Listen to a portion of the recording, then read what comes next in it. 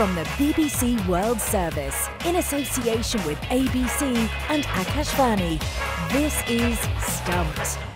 Hello and welcome to Stumped, your intercontinental hit of news, features, and debate from the quirky world of cricket. I'm Alison Mitchell, and the reason why I wasn't with you last week is that I was on an aeroplane and I'm now on Jim's time zone. I'm in Melbourne. A lovely place for you to play your guitar, and it's nice to see you in Australia. It's Jim Maxwell for the ABC. I'm in Sydney. Summer is here, and it's going to be a scorcher this weekend. So happy cricket season. The summer has arrived. well, it's winter time here in India, uh, but I'm back in Bangalore only just uh, for Akashvani. This is Charu Sharma. Now, on this week's Stumped, we will get to the public spat between former Aussie teammates. But we're going to start this week with one of the most dramatic finals in the history of the Women's Big Bash League in Australia. Now, there were more than 12,000 fans in at Adelaide Oval. Whether you think that's a, big number for a final or not, uh, we can come to that. But it all came down to Brisbane Heat needing 13 runs from the final over to beat the defending champions Adelaide Strikers. Heat fell just three runs short. Uh, they lost two wickets in that final over. It means Adelaide, the Strikers, are now back to back champions. So, Jim, on last week's show, we talked about some of the stars of the Strikers team. Uh, it was Amanda Jade Wellington who was the hero, taking those two wickets in that last over to seal victory. I mean, just how good was she and has she been this tournament?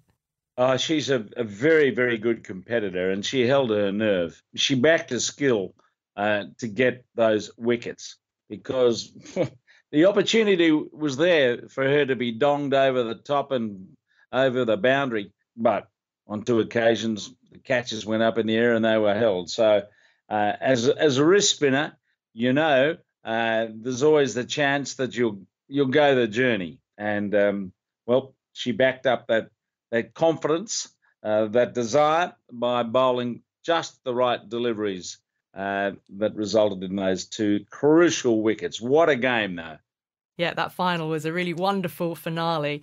Now, one player who was playing in her first ever WBBL final was the Zimbabwean leg spinner uh, Anesu Mushangwe, uh, who's become the first player from her country to win the Women's Big Bash League. And she joins us now on Stumped. Anesu, great to have you on. Uh, just talk us through, first of all, the emotions of that final over. Just how did it feel being on the field?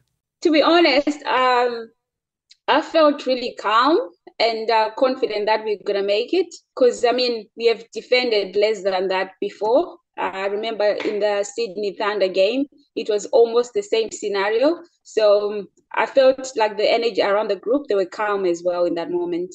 Mm. And of course, it's not your first season with the Strikers, but your first really sort of season where you've established yourself in 17 wickets across the competition. How much have you enjoyed it? And have you learnt a lot by those who you're playing with during this season? Um, yes, I've learned a lot from um, Megan Schutt, uh, Talia, Amanda Jade Wellington, even Jemma Barsby, uh, how to go about different situations, and especially with Talia, uh, how to maintain a certain level of uh, calmness depending with uh, with the situation. So yeah, it's been it's been great. I feel like I've um, gained a lot being around them, and it has helped my bowling as well. Yeah, and to talk about your bowling, you taught yourself leg spin, didn't you? H- how did you manage that? Tell us about it. Well, I was in a rush. Um, I was, I think, 18, 18, 19, because I used to be a medium pace bowler. So I wanted to make it into the Zimbabwean team. And I didn't see myself making it with my pace bowling and being a better as well. I didn't myself I didn't see myself making it that way. And then I just yeah, opted to try spin. And then I went the faster way, like using my fingers more without using my wrist. So literally, I, it was just self-taught everything. It's amazing, Jim. uh, Jim Maxwell in, in Sydney, uh, and it's, it's nice to be talking to you. So there's obviously a fair bit of background to all of this. Can we go back and start where it all started for you in being absorbed in this wonderful game of cricket? How did it happen? Well, growing up, I used to love sports. So where I used to live in Chitungwiza, I went to a school called Sekewan High School. And then there's a day where we were doing athletics. Everyone was forced to go running, and it wasn't my favorite uh, part of the sporting activities. And then there's a day where I just saw people playing cricket, and then I just went there and stood there the rest of the time. And then the following day, I gave an excuse that I didn't come for athletics because I was playing cricket. And then the teacher's like, ah, okay, fair enough. So from that day, I started going to cricket. Uh, there's a guy that I that we used to live with uh, back in Zimbabwe as well. I'll give him more credit. Uh, his name is Kudzai. I told him that uh, I'm I'm thinking of trying to play cricket, and then he's the one who actually gave me the confidence to actually do it and to see myself in the other other side of the world with the sport. He's the one who started from scratch with me, like catching the ball, throwing the ball, but we were using uh, lemons because we didn't have the balls to use. From that time, I fell in love with cricket, uh, and then when I was 14, I got selected to play for the under 19 national team. That's Zimbabwe, but I couldn't go to South African tour because I didn't have money to pay for my passport, and then I was left out of mm. the team uh, at that time. And then I started taking ser- uh, cricket seriously again when I was like 18 years old. And then I started being a regular in the Zimbabwe national team when I was uh, 20, 21, when I could finally learn my spin. uh, during uni, I was thinking, what would I do after, um, like when I'm done with with school because I didn't see myself like working in offices. Uh, the only thing that that made me see the other side of the world was just cricket. So I could see myself on the other side of the world just with cricket. And they said that's fascinating about your background in Zimbabwe, but how did you come to be in Australia? Glenelg here in Australia, they agreed to, to take me as well. But this time they were willing to pay my uh, visa, my flights, and everything. So that was a positive. And then the mm. catch was as well, I will play second grade. Hopefully, if we win, and then we'll be upgraded to get an A grade status, which we did when I came over here. Um, yeah, I started living with my coach. He's uh, the Glenelg head coach at the moment, Graham Saginary he's like family to me now. I call him my Australian dad. From there, playing A grade for Glenelg, I was uh, being invited to play for the Scorps first. Uh, there's a day I was selected to play to do the to play the trials, like to play the trial matches in the Scorps. And then a few months I worked hard on my bowling and um, I started feeling like I was fitting in well and then I started being selected to, I mean, invited to train with the Big Bash girls, girls as well. And then I remember the second season I was invited. I felt like I feel like I can make it into this team.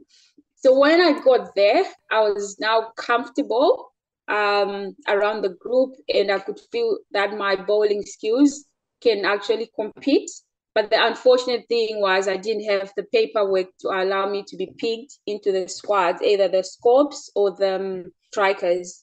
They couldn't do anything because part of my visa conditions was I can't be paid or work for another another sponsor as well.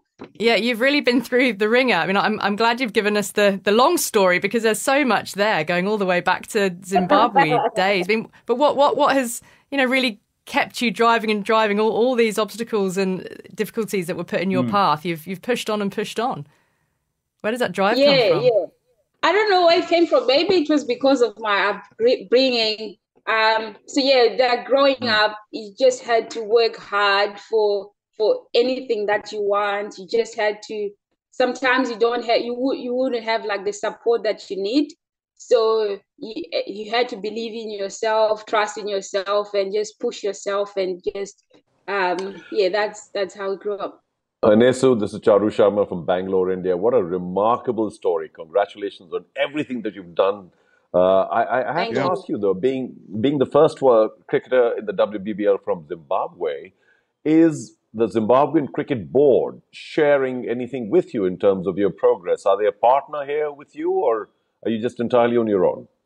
I yesterday actually spoke to the head of cricket, um, Givemore Makoni. It was me actually thanking him how much support he gave me to to come here. Um, because at first he's the one who allowed me, like who helped me process the paperwork for me to be allowed to play here. So yeah, I'm still in contact with them. Um, and yeah, they always wish me well. Yeah, we are still in contact.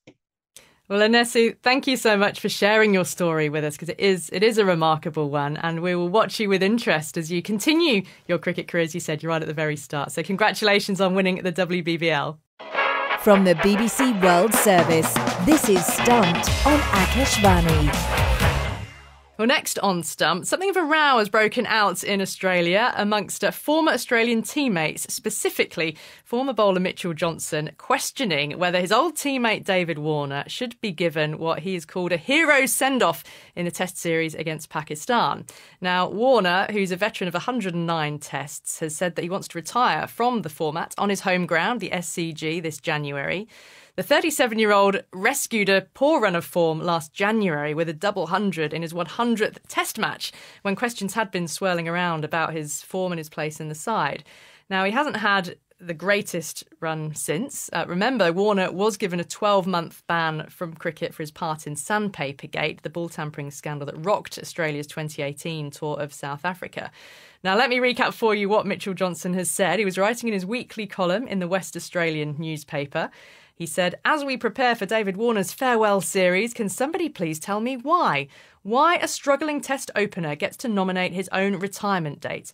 And why a player at the centre of one of the biggest scandals in Australian cricket history warrants a hero's send off?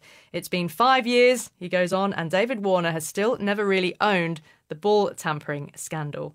Now there was much more, Jim, wasn't there? That was that was written uh, in the column as well. Uh, Warner is in the Australian squad for the first test in Perth next week, and it does seem highly likely that he will feature in a farewell test in Sydney. Um, first of all, on Mitchell Johnson's comments, what have you made for them? Were they warranted? How did you take them? I think it was too personal, far too personal. Um, we saw when Justin Langer was relieved of his coaching job, Mitchell Johnson fired up in support of his West Australian mate. And I think there have been times, unfortunately, where Mitchell Johnson, during the course of his career as a player and, and now as someone that looks back on the game, has um, lacked judgment, maybe emotional immaturity is part of it. Certainly, there's a lot of passion. And I respect massively what Mitch uh, normally has to say, but on this, I think he's off the ball. Um, David Warner has not been pressured by anyone in the last six months to lose his place in the team. And it's ludicrous to suggest that anyone else could take his place on merit at the moment. And when you look at his record, he will go down in history as one of the greatest players Australia's ever had. And across three formats of the game, he scored 18,000 runs for his country, 25 test centuries. So, Mitch, I think you've got that wrong. If you've got a gripe, pick up the phone and speak to him. Well, it certainly felt that in the, you know, a week out from the test series starting, there was precious little else for newspapers to be getting stuck into. So, you know, opportune time to, to jump all over and almost sort of creating something you know, to, to keep keep the headlines going. And of course, players are you know have been more than willing to, Usman Khawaja in particular, to to come to the defence of Warner, and it keeps fueling the fire at the moment in the absence of on-field rivalries between the teams that often would be you know the focus of. Uh, of this sort of build-up. I mean, Charu, one place where Warner is not a polarising force seems to be India, where you know he, he has a hugely popular following, doesn't he? Has, has this kind of spat made the headlines in India in any way?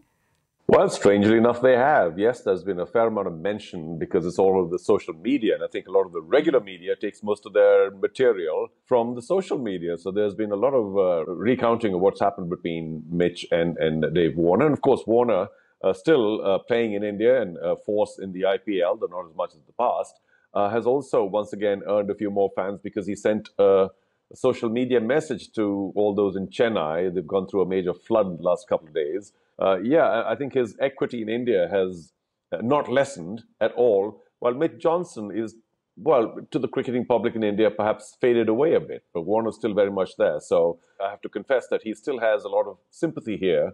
When you look at Warner and his uh, his legacy, if you like, then Jim, to what extent is Sandpapergate going to stay with him? It's going to stay with him. It's going to stay with Australia. Uh, we saw that with the Bairstow incident at Lords. So it, will never leave Australia in the near term. Um, that accusation about being cheats and sandpaper, it's going to hang around for a long, long time. And whether or not David Warner tips a bit of petrol on it with a the revelations in a book uh, remains to be seen. But uh, he probably needs to tread a bit carefully once he does stop playing for Australia uh, to make sure that um, his reputation is a bit stronger than it has been for a lot of his career. But when you look, as I've said, at his numbers, you can't deny that he has been one of our greatest players. And Charu, final thought from you when it comes to sort of public slangings. Is there many instances amongst the Indian team that you can recall where disagreements or sort of public dislikes get played out through the media? Well, there has been enough conjecture on that front. You know, there must have been, say, 50 instan- uh, instances where there should have been more open comment because otherwise it just remains rumor and conjecture on behalf of the media. But of late, I think the Indians are generally a little more reticent to uh, to wash their laundry in public. But uh, there's been oh, even now there were uh, situations where Rohit Sharma was not supposed to be getting along with Kohli, and Kohli was not supposed to be getting along with somebody else. But I think directly so. Of course, there was that slapgate between Harbhajan and, and Sreesanth. So there have been, you know, a lot of situations which could, could have gotten worse. But I think the players have generally been quieter because uh, that's just the nature here well, that's all we've got time for on this week's Stumped here on Akashvani. Don't forget you can follow us on Twitter. We're at BBCWS Sports and use the hashtag BBC Stumped. And check us out on YouTube as well. Go to the BBC World Services YouTube channel to watch us. Thanks to Charu Sharma and to Jim Maxwell and to all of you. We'll do it all again next week. Bye for now. Stumped is a BBC sport production for the BBC World Service in association with ABC and Akashvani.